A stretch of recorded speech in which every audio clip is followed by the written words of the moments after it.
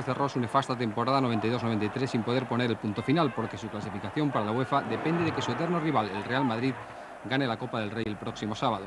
Y es que el Atlético volvió a ser el Pupas de siempre. Primero fue López a los 13 minutos quien envió el balón al larguero, la preocupación de Jesús Gil, la internada de Moya, ajustado al poste. El mejor delantero local fue sin duda el defensor Juanito. A los 18 minutos, Moisés dispuso de la primera oportunidad para un disminuido Zaragoza que reservó varios titulares para la final de Copa. Peña volvió a llevar la incertidumbre al portero Diego minutos después. De nuevo volvió el equipo rojiblanco a tomar la iniciativa y dispone de esta gran oportunidad por medio de Luis García y Ferreira. Este Sabas. Cedrún demostró encontrarse en un excelente momento de forma. El disparo de Tony.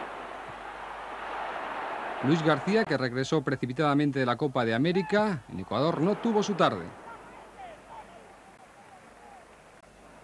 Y a los 39 minutos, el excelente pase en profundidad de Moisés es aprovechado por el lateral Lizarralde para conseguir el 0-1.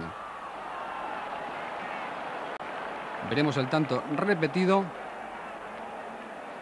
y cómo Lizarralde dribla a Juanito, evita la salida de Diego y consigue el 0-1.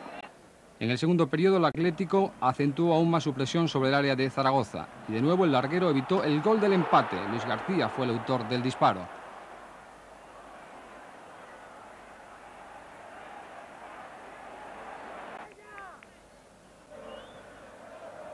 Y otra vez el mexicano encuentra en Cedrún un obstáculo insalvable. Y para desesperación de los rojiblancos, el poste impide a Pedro conseguir su objetivo. La fortuna no estaba del lado atlético. En el minuto 27 Moisés pone el 0 a 2 en el marcador pese a las protestas por fuera de juego de los locales.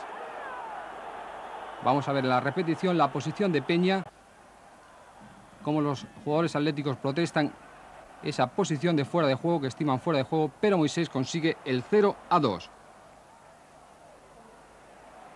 Y tan solo tres minutos después, en el 30, el canario Juanito, convertido sin duda en el mejor delantero atlético, consigue al fin lo que parecía imposible, batir a Cedrún. La repetición con el tanto del canario Juanito. Un gran cabezazo.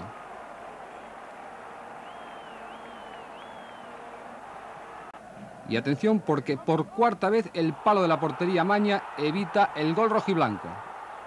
El balón fue al larguero. Jesús Gil no se lo podía creer. Y el tanto del empate llegaría en el minuto 36 con el mismo protagonista que en el primer tanto, el defensa Juanito, cómo no.